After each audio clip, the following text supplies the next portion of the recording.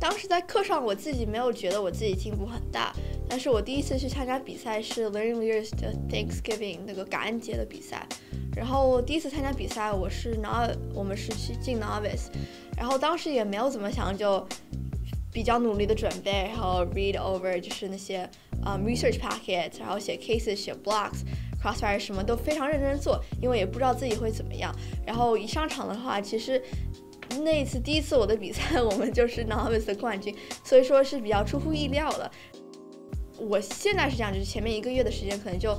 随便看一些相关的新闻，如果看到什么有趣的文章，就嗯收藏一下，然后到时候回去可以再看，然后 read research packet 什么的，写 blogs。然后的话，其实课堂上也有很多机会，就是也有很多 training sessions，也有很多机会去嗯就是 run through your case，所以这对我来说其实帮助也挺大的。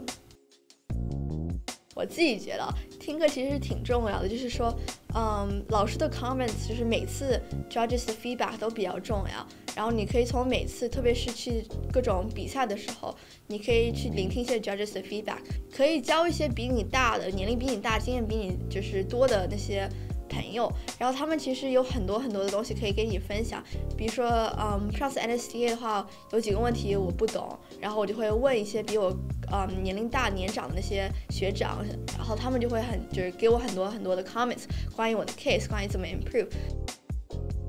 刚开始参加比赛的话是有什么比赛就报什么比赛，就是，嗯，在时间就是就是。如果有时间的话，就会去报一些比赛；如果没有时间的话，那我会选择性的就是，嗯，分析一下我现在的 priority 是什么，我现在主要的目标是什么。